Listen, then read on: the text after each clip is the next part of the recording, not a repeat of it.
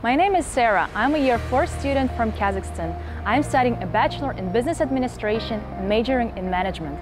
I chose PolyU Business School because I was attracted by numerous possibilities and opportunities that it could provide, starting from an internship, ending with different business case competitions.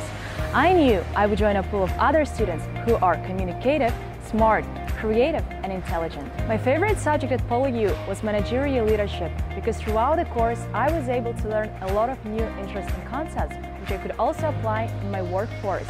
The lessons were highly interactive and discussions were really interesting as I really enjoyed to listen to other people's opinions.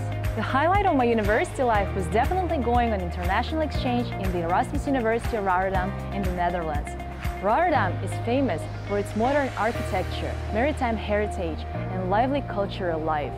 It is Europe's largest seaport and home to over 180 nationalities. The city is completely different from my home country in Hong Kong. The university life at Erasmus was amazing. I settled in well and managed to make friends from the day one.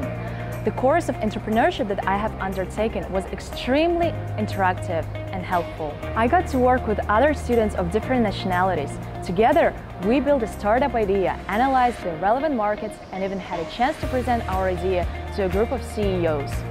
I believe that the skills and knowledge that I've learned will help me to strengthen my future career goals.